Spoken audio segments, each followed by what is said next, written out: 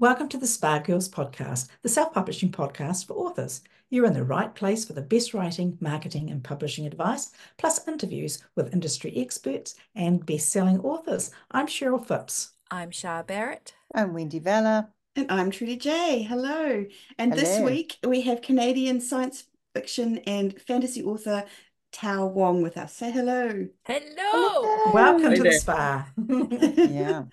So we're going to talk about Patreon and serials and Kickstarter actually. So three three kind of big topics there. Um, but first of all, I'm going to read out your bio and we'll go from there. And I'm sorry if I'm butchering your name. Please tell me the correct pronunciation when we get to it. Um, so Tao Wong is a Canadian science fiction and fantasy author writing in lit RPG and genre. Hopefully I said that right. Um, with five different series across a range of worlds. He's been writing full time since 2019 and has his books in audio, paperback, hardcover, and ebook formats, as well as translations to German, Spanish, Portuguese, and several others. When he's not writing and working, he's practicing martial arts, reading even more, and taking care of his family. Other hobbies include occasional RPGs and board games, as well as picking up new random skill sets. I'm curious what random skill sets you pick up. yeah. Um, oh God, in the last couple of years, um, I was picking, I was doing uh, horseback riding, so I was taking some Oh, classes on that. Um, and then most recently, I was also uh, learning the naginata, uh, Which more is- martial arts. Oh, more martial arts, Ah, yeah. right, Yeah. right. Yeah. But that you say, Um, um, I, I read somewhere that you do you've done multiple different martial arts. I, I do karate myself, and so I'm always interested in um, someone who I've- does.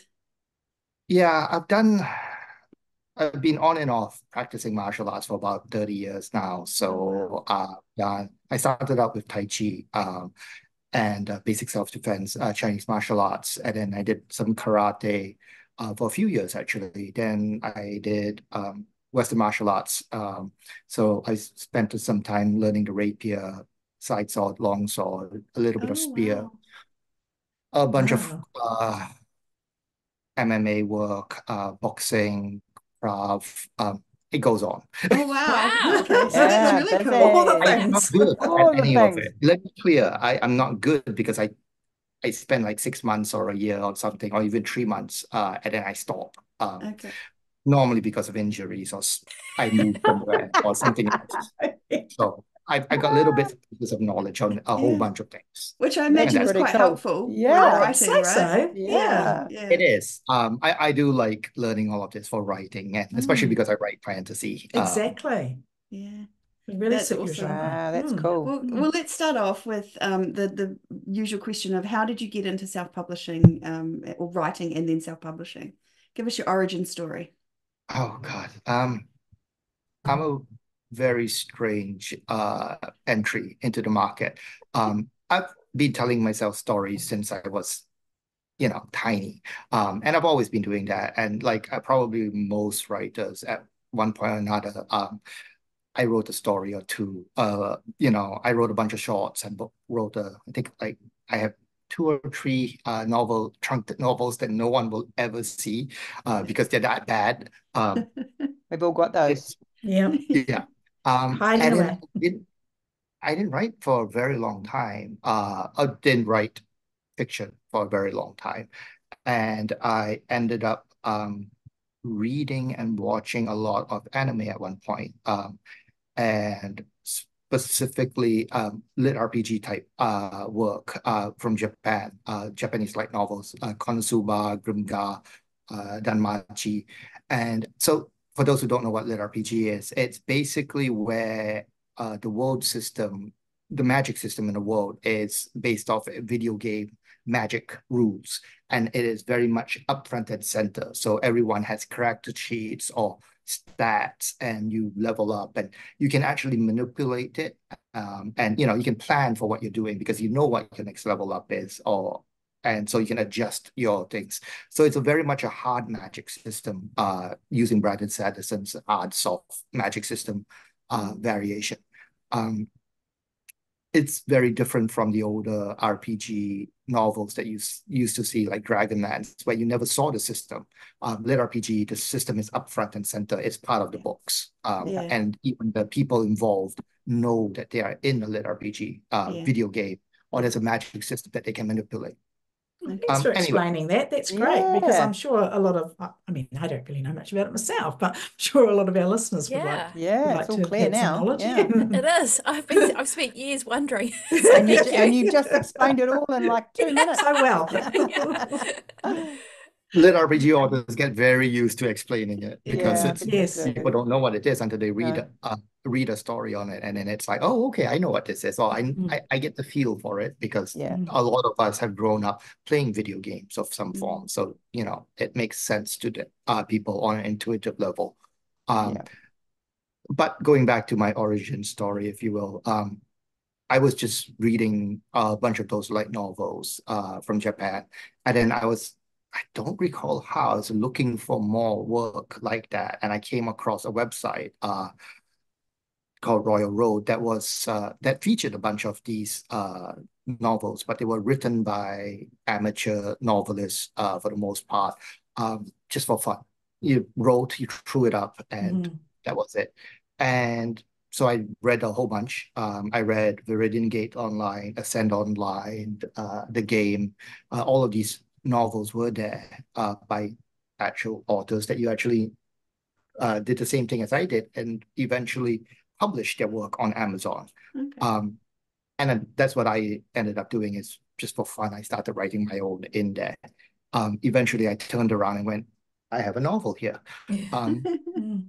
and cool. I Yeah. didn't have time to uh, or desire to go down the trad pub route. So I put it together, got myself a nice cover, threw it up on Amazon, not expecting to make it a career. Um, just you know, something I Mhm. wrote it. I wanted to have it out there.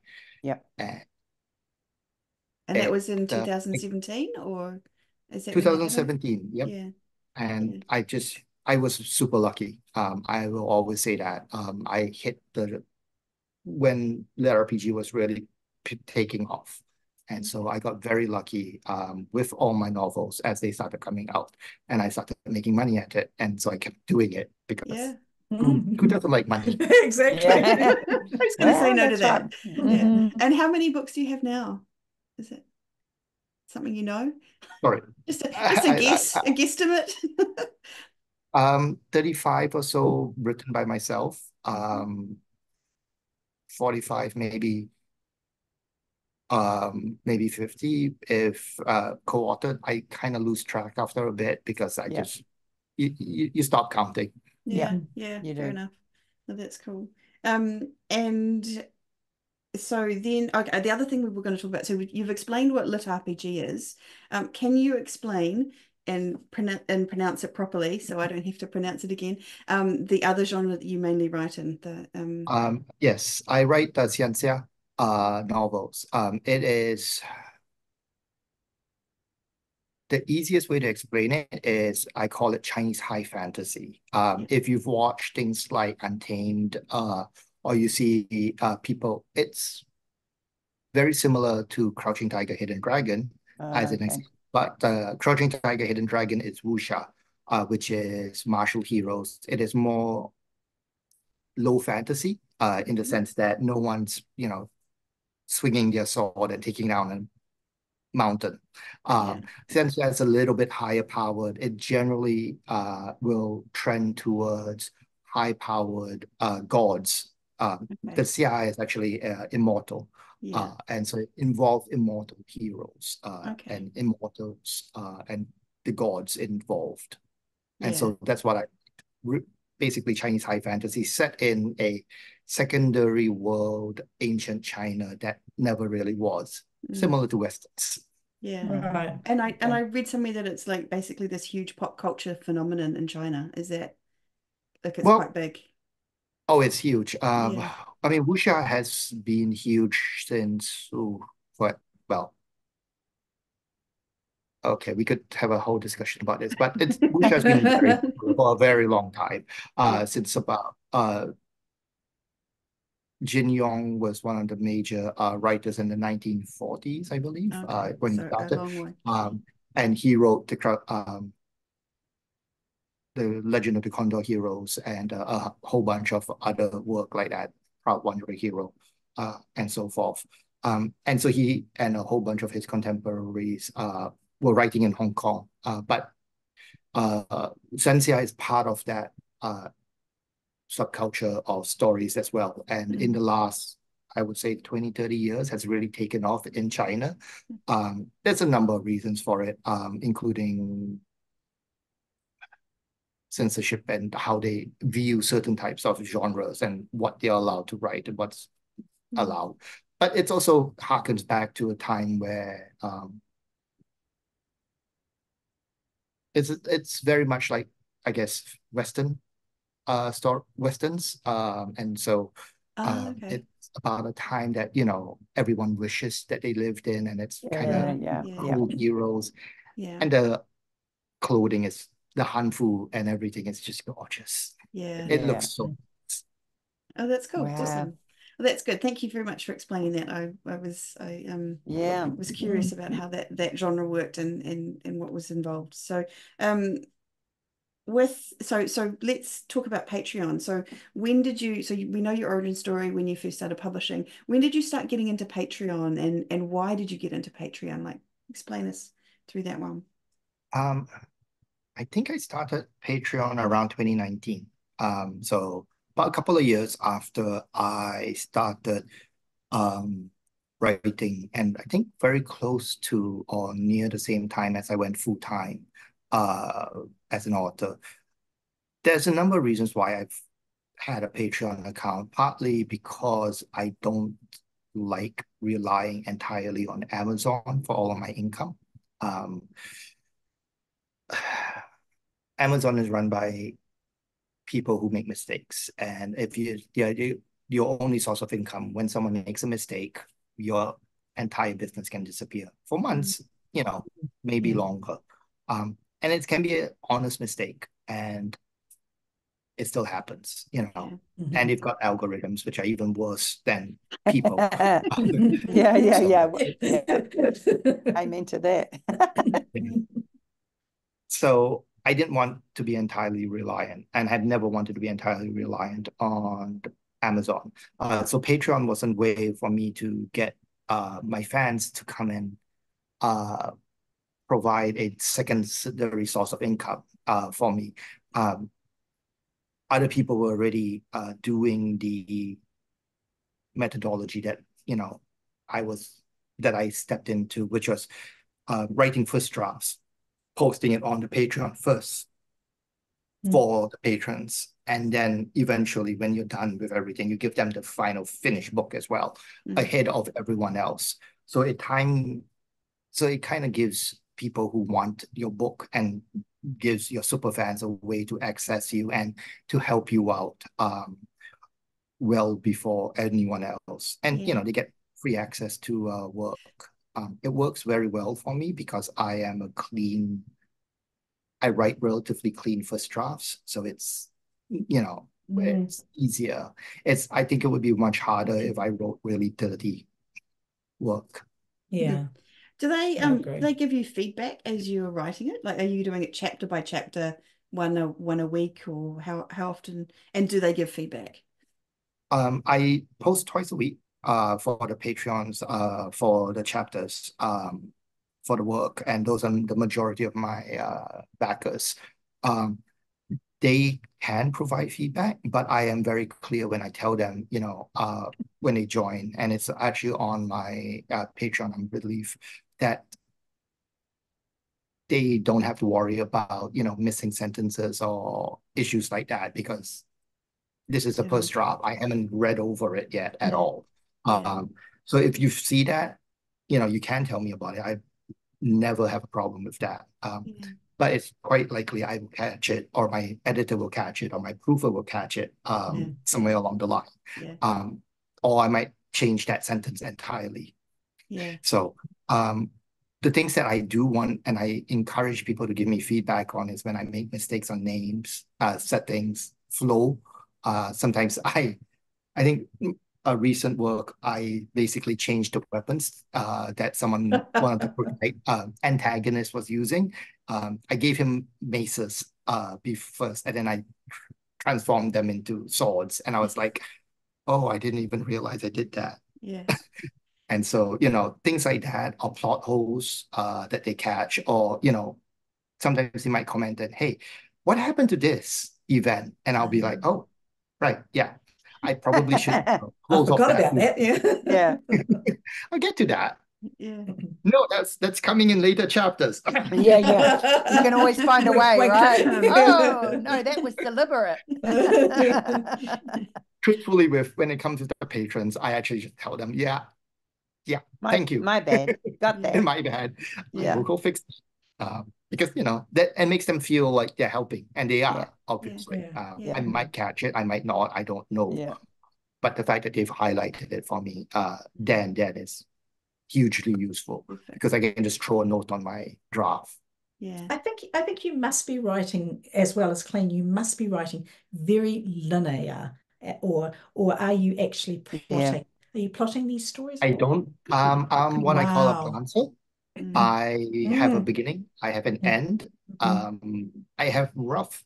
My brain generally gives me like the next two to three chapters, and Mhm. I know roughly kind the kind of beats I kind of want. Um, mostly. um. Yeah. but um, and then the rest I just write. Um, Wow. And That is so impressive. I can't even But- imagine that. To, you know, to be able to be that um, courageous to put your work out there so Mm. soon without knowing that It's edited or just anyone trusting had eyes yourself on it. that your Yeah. process that it, it will flow. Yeah. Yeah, sometimes it doesn't, you know. Yeah. No, it's I have um there are some books where I have literally told the uh patrons at the end of it, um, hey, I know there's some issues with this. Um because they always get the final book. Um, Yes. I often will tell them, uh, I know there are some things here that are a little off, you know, make sure to read the final book. Um, Yeah. often in those cases, I've added 10 to 20,000 words, uh, Mhm. just finding, you know, sections where I'm like, I didn't, this character has not been fleshed out enough. Um, there's not enough, you know, Mhm. foreshadowing here. And it's things like that. But you know, you're you're quite upfront, at least I'm quite upfront uh Mm. with my patrons when I find that and I'm like, yeah, okay, this is a problem. I will fix this. And I'll tell Yeah, them, yeah. you know, there's like 20,000 more words inside the final book. Read that. Mm. Yeah. Mm. I That's think real cool. fans love that behind the scenes. They love I being think part so, of the yeah, process. that- yeah. That- Mm. yeah. They do. Uh, Um, I, a lot of them, I think they like seeing as well the uh, changing uh book. I've had some patrons uh who just, and there's a large chunk of the patrons who just are there for you, right? Um, Yeah. Mm. Yeah. I've had some people tell me I don't read at all. Mhm. I turn Oh, off the wow. notification. I don't read. Um, I want to read the final book. Okay. I, I like the Wow. final book. But Oh, they're right. supporting you by Yeah. being there. Yeah. Wow. Yeah. And I've, and I've got cool. readers, Nice. I've got readers like that. Like I've a couple of people I've offered to, you know, can you read an early draft or whatever? And they're like, no, no, I don't want to. So it's interesting that you they're still supporting you and they're still there for you. They get it early though, don't you? Don't they? You said that? They get it. Yeah, Yeah. they do. Yeah. They get a minimum uh a month early um from everyone else. So Yeah. they get it uh to read and you know that's the final draft and everything. That's cool. So that's going to be really polished by the time you actually Yeah. do publish it on other platforms. I hope. Yeah. and Well, how it long must be working. exactly. How long are these books, um, Tao? Um, oh God. Um, it depends on the series. Uh, Yeah. but the main series that I'm writing right now, which is the Xianxia uh series, A Thousand Li, the books are but they started out between 90 to 100k, but lately they've been hitting between 120 to 150. Oh Wow. my gosh. Wow. and how Yeah, long does it it is- take you to get through an entire book on Yeah. um, on How, but how long does it take you to write one? Ah, three to four months. Oh, It's generally thank gosh. how, I thought you were going to say a uh, month there. I was going to get angry. Oh God, no, no. I write about 2,000 words a day, uh, on average. Yeah. Um, I work every day. uh, pretty much. Um, Mhm. it's just easier for me to keep working every day Yeah. rather than Yes. take uh, long breaks in You between. stay in the story and the flow Mm. comes and yeah. Yeah. Yeah. So, um, but I also work on multiple projects at the same time. Um, Mhm. and so talking about Patreon, uh, one thing I found out is I used to have two major series, uh, the System Apocalypse, which was a lit RPG series, and A Thousand Li. And so I would switch between the two. I'd write, you know, for three months in one series, then I'd write in three months in another. And my Patreon uh, backing always did this Yeah. Mhm. Uh, goes up because, and down. um, Okay. yeah, well, people wanted either one series or the other. They didn't want uh, both. And Right. because they were both so involved series, I couldn't write them both at the same time. Yeah. I couldn't release them at the same time. It just Mhm. didn't work with my brain. Mhm. Um, it's still the same. I can write something light and something heavy. I cannot write two heavy series. It just Mhm. takes too much brain power for me. Yeah. Mm. So when I finished a thousand Li, uh, sorry, no, a System Apocalypse two years plus ago, um, I switched over to writing just a thousand Li, and that's the only book that uh, I relig- regularly release on the Patreon, um, Mhm. and that has actually increased my Patreon uh, Mhm. support uh, Mhm. significantly Yeah. uh, compared to when I was just bouncing up and down, up and Yeah. down. Right. That makes some sense, haven't- doesn't it? Yeah. It does. It does. Yeah. Readers Yeah. like consistency, don't they? Yeah. You know, They And really they want, do. and they're So- invested in that series and those and those characters and And yeah. they, they don't want to switch to be invested into another series and then Mm. switch back again. You can sort of understand Yeah. that. I'm almost like that when I'm reading a, a fantasy does this quite often, a book with Yeah. too many points of view. And you Yeah. and you, you're reading one chapter and you love this particular character and then they switch to a character you don't like And you're you like, kind of oh no. you kind of like grudgingly read through that character until you can get back to the Yeah. character you want to in it. Yeah. Yeah. Yeah. Um, It had, yeah, uh, that's the biggest problem with epic fantasy for sure, where you either you do have characters that you're like, I have no desire to read Yeah. them. That was pairing with World of uh, the Wheel of Time all the time. I'm like, I don't want yeah. to read another Perrin and Faile chapter. Yes. No. Yes. Yeah, Yes. yeah, Mm. exactly. So with your Patreon, so you you use the one um one char uh, one series, sorry. Um, do you have multiple levels? Like like um you can yeah explain what you do with those. Um, I do. I have a one dollar support level where they don't get any uh, chapters at all, but they do get my updates and whatnot. Uh, if I have something to update them with. Um, I find that one dollar support level, people use it as kind of just a reminder, so they drop down to the one dollar support level. Uh, up until I'm like two months into a book, and then they'll just increase it, go back up to five dollars, uh, which is Ah, my next level up, uh, for writing um, where people start getting chapters because I time gate the chapters too. So five dollars gets uh one chapter, a number of chapters, and then um, so let's say they get one chapter here. Um, ten dollars will get uh, two chapters, and then uh, twenty dollars is about four chapters ahead. Um, and then I have uh, a thirty dollar and a fifty dollar level. Um, and those 30 the $30 level basically is you still get four chapters but um when the audiobooks comes out we'll send you the audio uh, Okay. I think the $30 sorry the $30 is actually for the paperbacks um Yeah. they get the Yeah. paperbacks that Yeah. 20, 25 i think is where you get the audiobook Yeah. and then $50 is it's my I love you. I don't know. You, you're getting hardcovers um, versions of the work, but I don't know why you're supporting me. Thank you so much for doing that. I love you. Pretty much. Um, yeah. I have a friend, uh, Dakota, who used to have a five thousand dollar level, uh, and he's like, "I will fly over to your house." you know. Clean clean your Oh. house and cook your meals. Yeah. Yeah. We, we need a 5k level. I like the sound of this 5k level. Yeah. the yeah, I don't think anyone's ever taken him up on that. Um, Yeah. yeah, to put a I'm five thousand sad. dollar.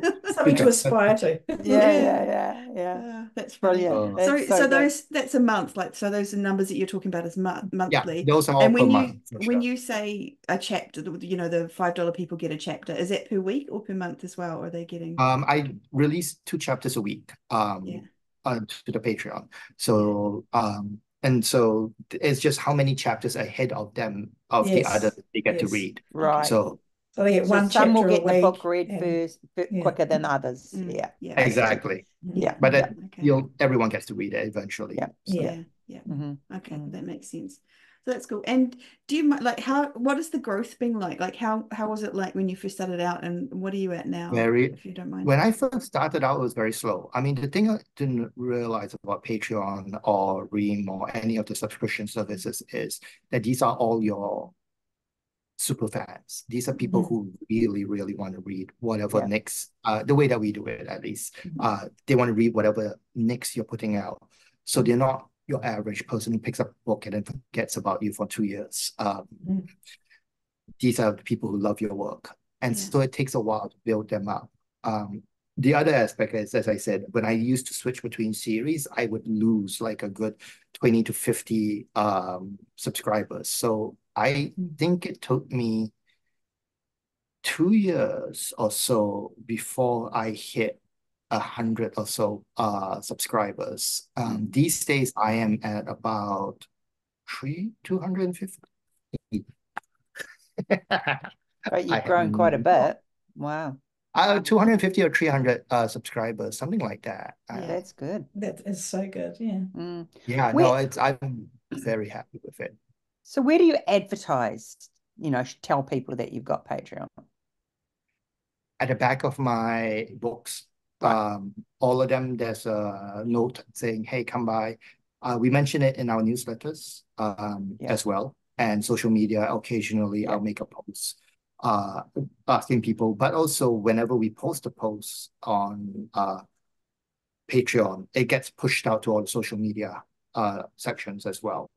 We don't get a Mm. huge number from them. It mostly comes from people finishing a book and Mm. going, "Hey, I want to." And so we always see a surge right after uh, a book gets released, uh, like a few a days surge. Yeah. the people are like, oh, you've got uh more.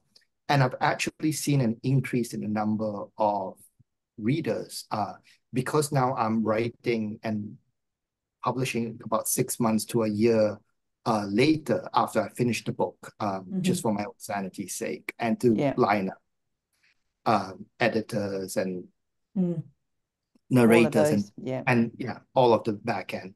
Um, I just ha I pushed out my publishing uh schedule a lot. Now I've got book, literally I released book 10 last month, and I am writing and releasing book 12 now uh on the paper. Mm. So I see definitely seen an increase in people coming by uh Yeah. because like, oh, hey, I can read the next book and a bit of the book after that. Yeah. Mhm. And I don't have to wait Yeah. Yeah. for release date, which makes Yeah. sense, right? Especially if you're if you're hooked into a series and you Mm. have to wait for the next book to come out, you're like, oh, I don't, you know, and you sort of lose interest or or whatever, and you go looking for it and Mm. it's not there and it's not going to be out for a year. You're like, oh, you Mm. know, Yeah. you Yeah, can because a lot of a lot of yeah, because a lot of people actually won't buy my books until the whole series is out, and then they'll buy the whole series Mm. and read it, you know. Mm. So it makes And I, sense. I'm I'm glad not everyone does that for me because I write 12 book series, so Mm, Yeah. yeah. Yeah. It's a long time to wait. it's a very long time. So what are you releasing about two books a year, or how's that? Um, for Thousand Li, I release about two books a year. Uh, Yeah. right now. I also have other releases that go out um in between that. Um, I have another series called Climbing the Ranks, which isn't Patreon, but it's a serial um that I will that I write on my own uh Starlit Publishing website, which is released entirely for free there. And again, I do the same thing where chapters you can subscribe on Starlit Publishing itself and Mm. then uh get five or 10 or I think it's like 20 chapters ahead of whatever is being released for free. Um, Okay. so that's another subscription model. It doesn't use Patreon. It uses the software inside Shopify to do the same thing. Um, Mm. Okay. and I did that mostly to drive traffic to Starlit Publishing so that I can get people to keep coming back to it and potentially buy uh my books from me. So it's kind of different thing from Patreon itself, but it does use the same subscription model. Um, Is it very different? How do you find working it from your own website versus Patreon? um, the software is not as smooth. Um, I think um, doing it through um, Shopify, we have had to cudgel a bunch of things together. Um, so it's not as smooth. It's not really meant for this, um, Yeah. but it does have the nice advantage of taking the money directly from them, and I don't have to pay uh Patreon their cut either. So I only have to pay my two percent or uh processing fee, and it's about well, works out to be over three percent. Um, so I take a slightly larger percentage. Um, whereas if you go through Ream or Patreon these days, I think it's like 10% plus the processing fee. So it's like 13 to 15% that goes away. Mm. So that's the uh, advantage um, of doing it directly. Mhm. Um, I don't make a lot of money from that uh, series. Um, it, the goal has never been to make a lot of money. It's more to drive people into the shop Mm. itself. Yeah. So it's a long-term play that uh, Yeah. it's Okay. working out Yeah. the way I That's expect it to. So, so if we talk about serials and eh, like the writing of the serials, are you thinking about like as you're doing your chapters each um each week or whenever you're writing them, are you thinking about cliffhangers? Are you thinking about ways to keep them coming back and and those kinds of things, or compelling the characters that they love and making sure that those characters are included, that kind of thing? Um, yes and no. Again, um, I write two different ways, right? Um, for a thousand Li, I am very much not thinking about that. I'm thinking I write it like I would write any novel.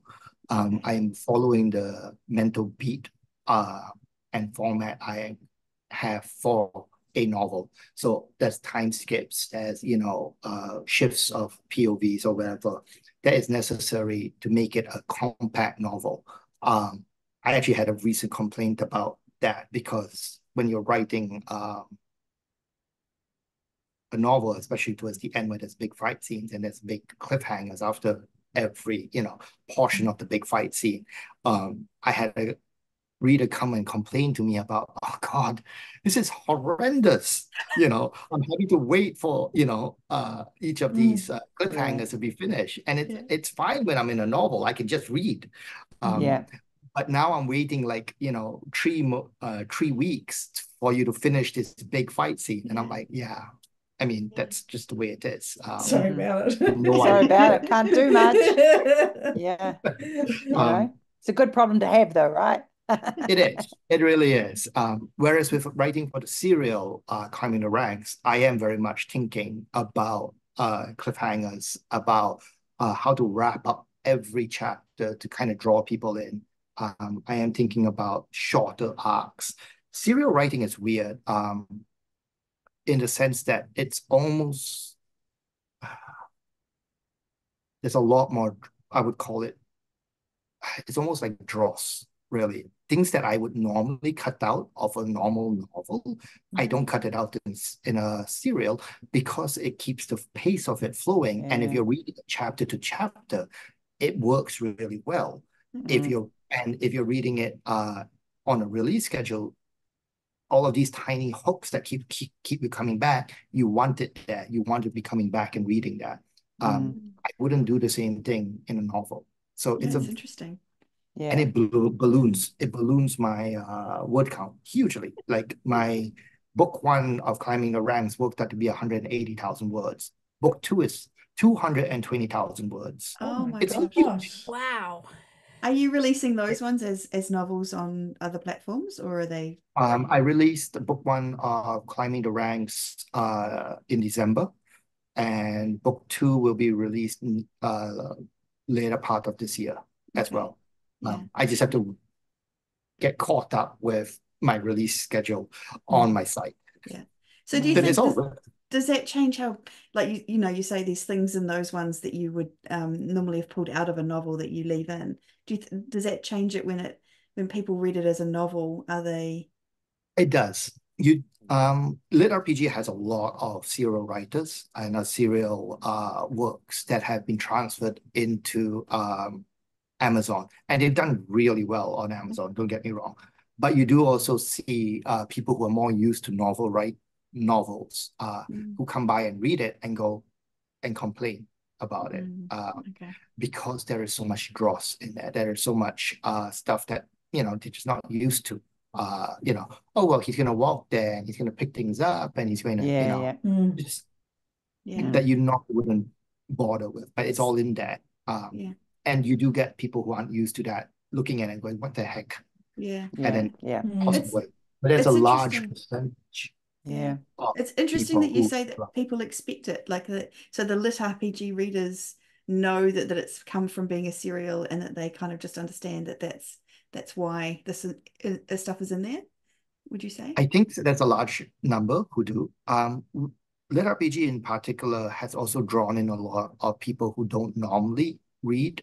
Uh, and so they've actually, uh, and this, they've come back to reading because of these books. Ah, Uh, and so I don't think their expectations are the same. Um, okay. also, we have a huge percentage of uh, audiobook listeners. Like it's anywhere from 40 to 60% of uh, Wow. a lot of authors' um, income. And so, or, or even unit sale. So, and a lot of these uh, audiobook readers, they're listening it half, they're half listening to it while they're driving or doing something else. And so all of this extra stuff actually is useful because it keeps them in the story without having them to be 100% focused. Yeah. Oh, that's fascinating. It's kind of, I don't know if it's linked or, but like my daughter used to love, for example, Minecraft, and she would watch YouTube videos of other people playing Minecraft. And I know Yeah. that they do that for other games as well. It's not just Mm. Minecraft, it's just that's my experience of it. And so I wonder whether there's that kind of almost the subculture of of that kind of the people who love gaming and are in that world are coming in and kind of, and you know, like Mm. Yeah, creates this. I, I- I definitely think there's uh, a percentage of those people coming in and just enjoying, you know, living through these stories and, you know, Yeah. yeah. especially when they don't have time to play games anymore. Mm, Yeah. yeah. Mm. Oh, that's 'Cause it is a fascinating. crazy It's a whole world. new Mm. world. I'm, Mm, I'm gosh, absolutely. So, Yeah. Um, so I know that you just we talked about this that, that this the Patreon and the, the um the serials or the that part of it is just one part of your whole process for for when you're putting books out there. And it I think it starts with Kickstarter. Am I right? Like, is that? Can you just Um, go through and explain to us how you how you launch and publish each of your books? It's not all for all books. Uh, it depends on which books we are doing. Um, Yeah. but for my personal books, a lot of them, uh, we do have Kickstarter as an addition. So, um, Climbing the Ranks is an example where we have Kickstarter included. So we write it on the site. We get money from people, uh, subscribers as we're writing, releasing it. Uh, once it's ready, we put it on. Uh, we did a Kickstarter for it. Uh, generated additional funds uh, to send out physical copies of the book to everyone and signed copies and everything like that. Mhm. After that, um, once it's gone through Kickstarter, we then uh, publish it on Amazon uh, for another bite on it.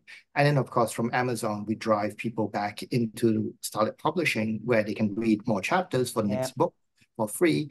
And hopefully, some of them will come in and subscribe uh, from us, and we keep on doing that.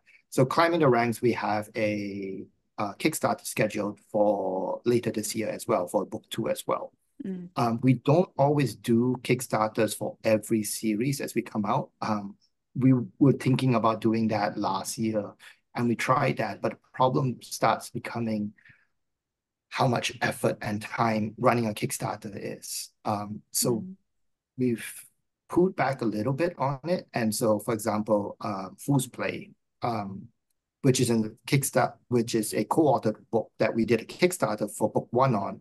Um, we weren't, we decided not to do a Kickstarter for book two, uh, just because of the sheer amount of work and additional time Yeah. it took. Um, for not a huge amount of return, uh, Mm. realistically speaking. We made we raised Mm. about three thousand dollars um for Fool's Okay. Play, which is great. I mean, it covered the cost of, you know, the ads and uh sorry, the cover and editing and stuff like that. So that once we went out, it was, you know, it's already positive income. Mm. So we didn't do uh book two. We won't do it for book three. The plan is to go and do another Kickstarter at the end, uh, once all three books are done, and then we have an omnibus that we can do a whole Uh, Kickstarter on yeah. there. Yeah. So it's and right now we're running a Kickstarter for the um a thousand Li the first step, and that's a deluxe edition Kickstarter. which is really where the big money is. Um, if you look at any of the large uh successful Kickstarters that have been done by indie authors, it's generally either a whole new book that you can is that is exclusive, um, or it's the deluxe edition. And a lot of that has to do with the um, price point. Like the Nameless Restaurant last year, we did a Kickstarter for it, and we had like 210 uh, subscribe uh, backers.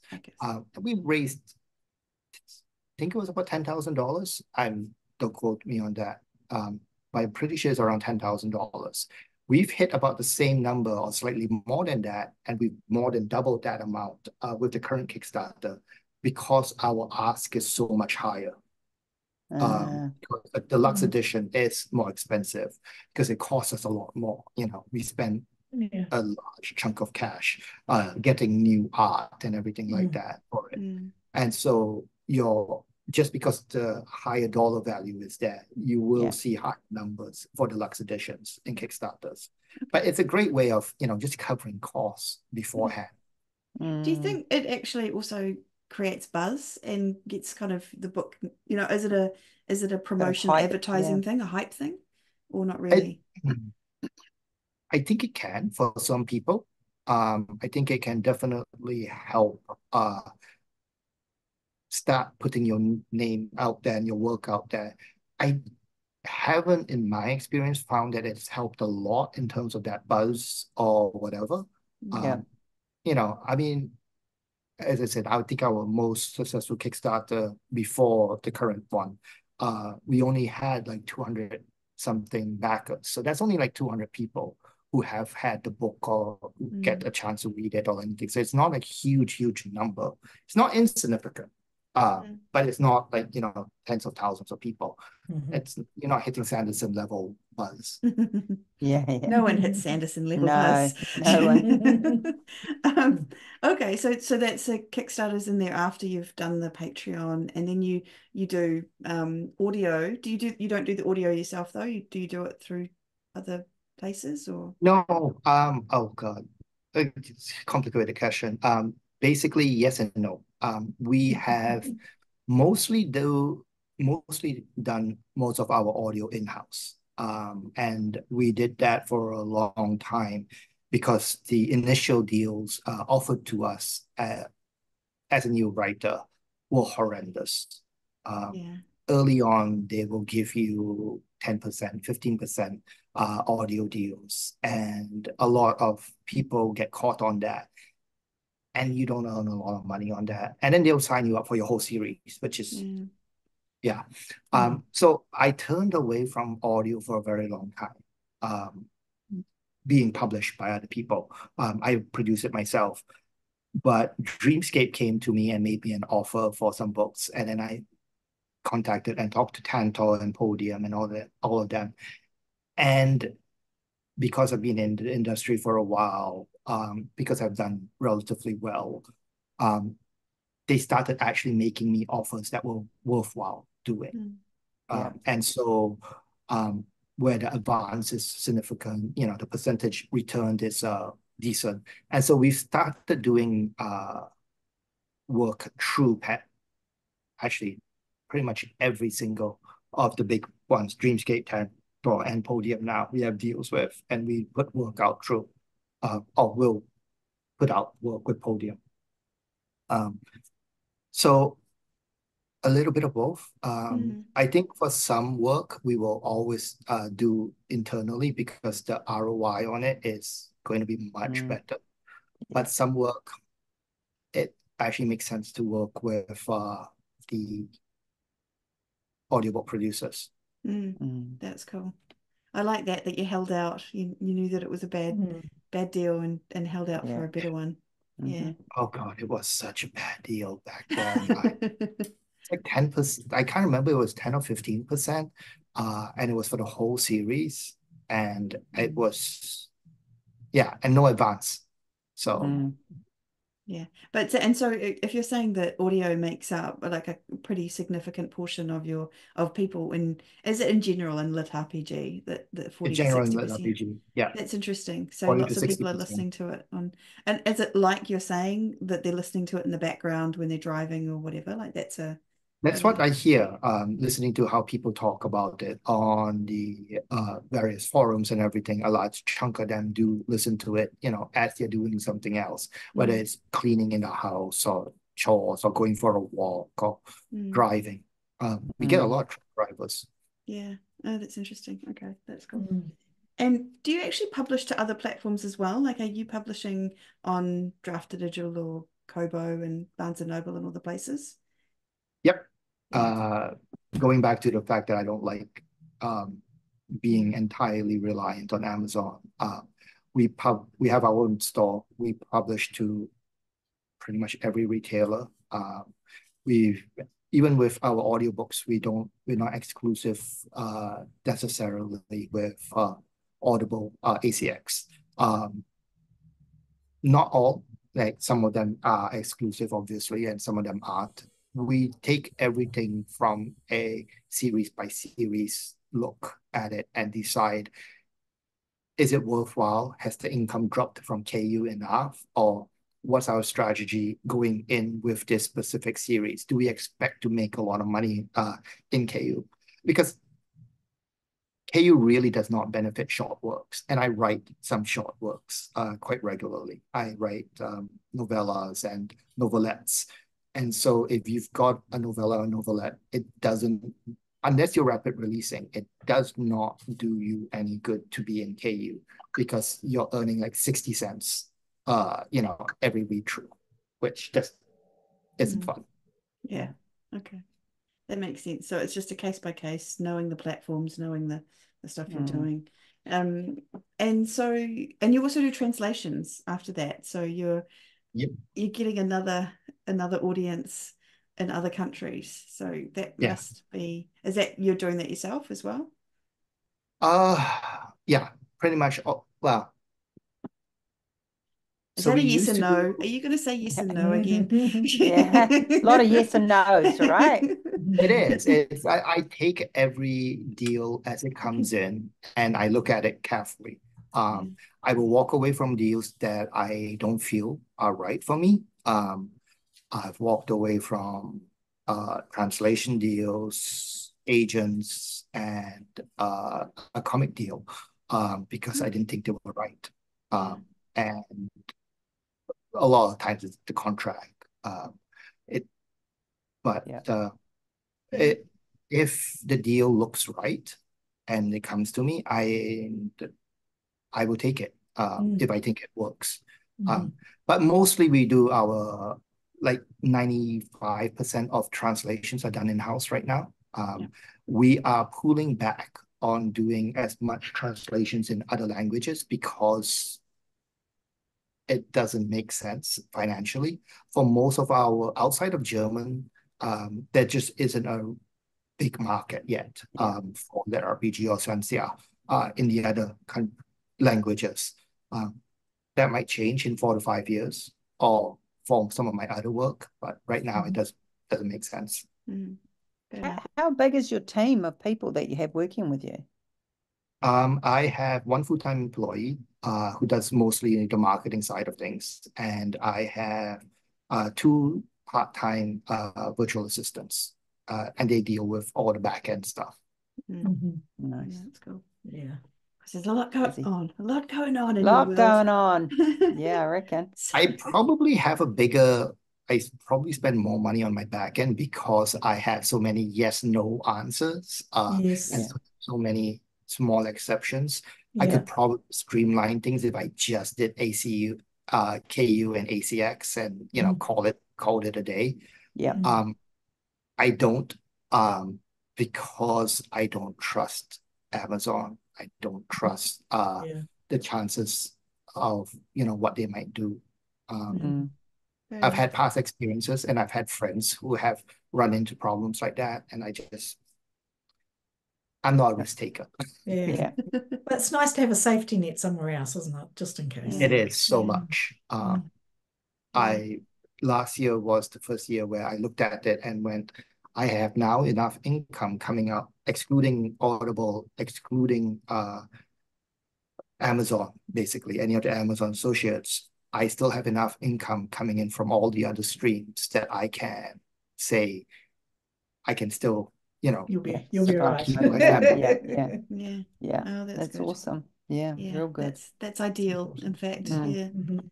Um, and so what else? What else can we talk about? I'm just trying to think what else I had in mind. So mind. many things. My head's spinning. I see- oh, Yeah. that was the other thing. One more question was kind of around the marketing that you do. Like, so does does the Patreon getting people into their market itself, or are you are you sort of doing Facebook ads, or you know, like what kind of things do We you do don't do that? paid Facebook ads to draw people in. Um, again, it's very much super fans, right? So it doesn't make any sense to run generic uh Facebook Mhm. ads to it. Yeah. Um, Yeah. we run Facebook ads to our individual books to get them into the series, and then hopefully they will come in to become Patreons eventually. Um, but the marketing for the Patreon is very much uh, newsletter, social media based, So I guess uh, you're- and and at the back of the books, you know. So you're uh, taking people who are already fans and you're taking them to the next level. That makes a lot of sense. Yeah. Exactly. Yeah. Um, I should point out that um, the free chapter model uh, on a public platform thing is something that is done very well in Royal Road, um, which is a huge uh, sci-fi fantasy uh, free website. Um, people post their chapters for free there, and then there's a very, very clear link on every chapter uh, to a Patreon section if you have a Patreon, where they can then join in and uh, get additional people. And there are some very huge um, authors who have done that and make a very large amount of money. Uh, I think Shirtaloon, uh, who writes uh, He Who Fights with Monsters, is the largest Patreon uh, author, and he makes something like $65,000 a month Wow. uh, of his Patreon. I didn't know Wow. Yeah. No, Mm. it's uh so that if because Royal Road is such a big website within the genre and just for sci-fi and fantasy people, there's a large number of people who go on there, read books for free, and then you know jump onto other uh Patreons uh from there. Uh, but like with everything else, it's Mm. a very pyramid. Yeah. So Yeah. a lot Do of you- people not earning a lot. Do you still have stuff on Royal Road or is it not something? I uh I stopped being on Royal Road um about 2019 or so. Um Mm. for a time I found that it wasn't helping with my writing process um Right. because there was you get a lot more comments on Royal Road than inside the Patreon. Ah, you know, Yeah. It's- Mm. it, it was a lot and people were complaining and then I'd go back and I'd make changes or something Yeah. and it wasn't working out. So Mm. it It was was making you it making you start to question your own processes a little bit. yeah, to some Mm. extent. It didn't Mhm. uh the way I was writing back then, it really because I would jump backwards sometimes and fix Yeah. old chapters because I Mm. would realize that something I was writing now didn't work. Mm. Then I'd be going, well, do I need to fix it on the Patreon? Yeah. Because it's not gonna make it sense, uh sorry, on Royal Road, because it's not gonna make any sense Yeah. anymore for Yeah. someone because Mhm. this this suddenly just jumps out. Mm. Right. Um, and so it became with Patreons, I can just put a little note in there. Hey, this has happened. Mhm. You know, Fix it. I'll fix it um, later, yeah, don't worry. yeah, yeah. Yeah. Hang Yeah. in there, buddy. Yeah. And and they're your Yeah. they're your people already, so they're Yeah. gonna understand Yeah, and they're gonna get you aren't because they? they're your Yeah, fans anyway. That's the They Yeah, difference. exactly. It's Yeah. like the the not They the, already love you, you know. Mm. the wider Yeah. people versus the I think maybe I don't know if you can do this because I don't know the Royal Road platform, but it's almost like something where you'd maybe want to finish the entire book and then And start then it posting in, it yeah. chapter by chapter and doing it like that rather than you can definitely do that. And I know some people who have done that. Mm, Um,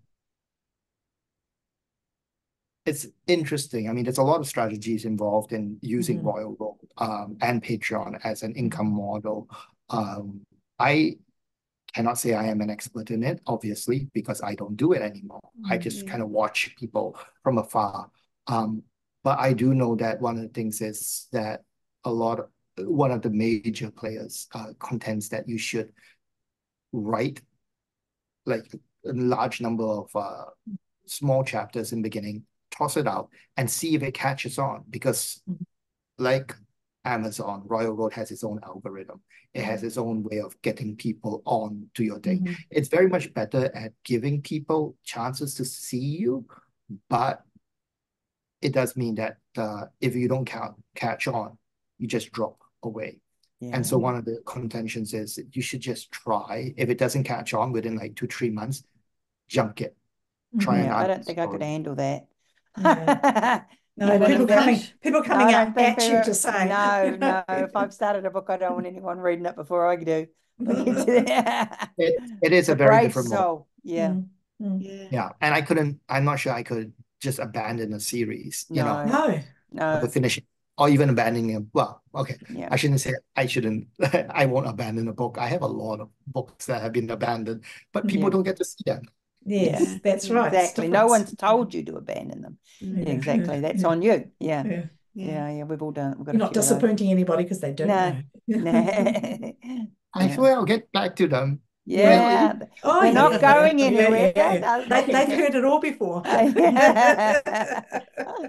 So we're coming up to the end of our interview time, but I just wanted quickly to know, um, do you have any kind of any tips for someone who's thinking about starting Patreon, like best practice, where they should what they should think about when they when they get going?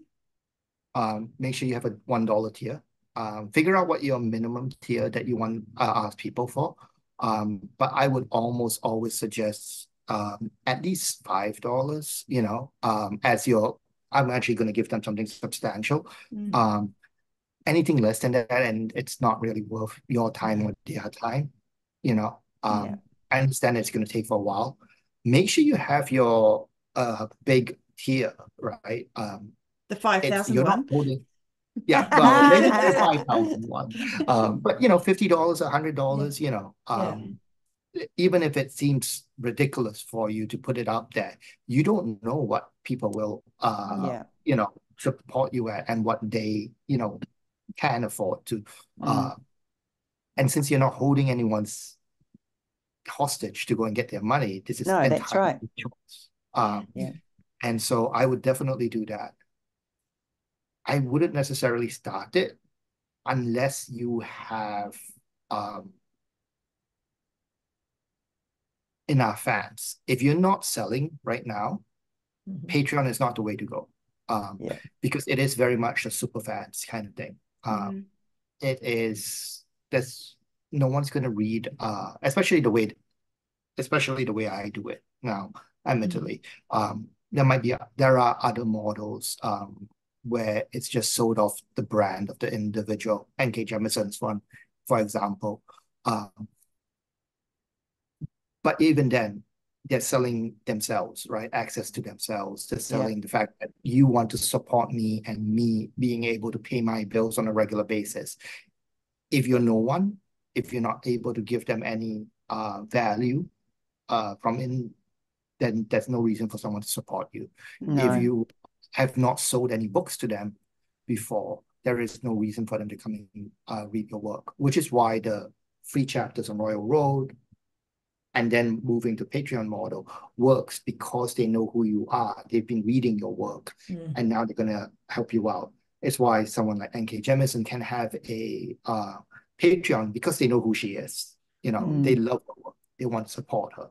Um, Yeah. And so a lot of trad pub authors do that, where they don't really talk about the work that they're working on because of contracts and everything like that. So they then uh, give access to themselves and are basically saying, hey, come and support me so that I can keep writing, you know, and I don't have to worry about my X bills. Mm. But you won't do that without giving value. Yeah. Yeah, yeah. Makes sense. That makes sense. So something Yeah. that people are going to want, whether it's access Mm. or chapters or, or whatever. Yeah. Yeah. Um, I've seen some where other authors uh, talk about world building, um, writing and dialogue. Um, I didn't mention it, uh, but I also have a two dollar tier inside my Patreon, which is my business posts. Uh, once I write a business post about publishing, uh, and it gets posted on my website every month. uh, every week, sorry. And so the $2 tier is basically you get access to the post like a week early, whatever, you know. Right. Uh, I get a small number of uh, subscribers to that, but um, again, Yeah. it's early access value and a way for people to throw money at me if they want to. Yeah. Yeah, and it's their Yeah. choice. Yeah, Yeah. right. And it's something that you're already doing, presumably. So it's just another Yeah. way to Yeah. kind of get a few Yeah. Um, dollars. yeah, Yeah. Exactly. yeah, No, that's cool. smart. Yeah. That's fantastic. Thank you so much for joining us here in Yeah. Spa. We've really enjoyed We've learned talking a to you. lot. Yeah, we have. We're all yeah, our minds yeah, are going yeah. Boom. Literally whole new world. Yeah. yeah, Yeah. no, that's been cool. So if, if people want to uh, ch find out more about you or your writing or join you on Patreon or whatever, where, where are the best places to find you and go to? Um, my personal website is mylifemytao.com. Yeah. Uh, and Which I love, by the way. That's an awesome Yeah, title. it's a cool title. Sorry. Thank you. Um, and my uh, company's website is starlitpublishing.com. Okay. And so uh, those are the two that you can uh, find my work on. Awesome. All right. Well, we'll have both those links in the show notes for anyone listening. Um, but for now, thank you so much for joining us. We really enjoyed it. And thank you all our listeners. Oh, we can be found. Also, actually, sorry, Shar. I almost It's It's forgot. okay. I was going to say that in my goodbyes. We can be found at spagirlspodcast.com and we too can be found on Patreon at Spa Girls Podcast. If you'd like to buy us a coffee or or more, we would be most appreciative. That's awesome. Thank you. And thank you to all our listeners for another episode or listening to another episode of the Spa Girls podcast. We'll be back again next week. But for now, farewell. Keep well. Bye. Bye.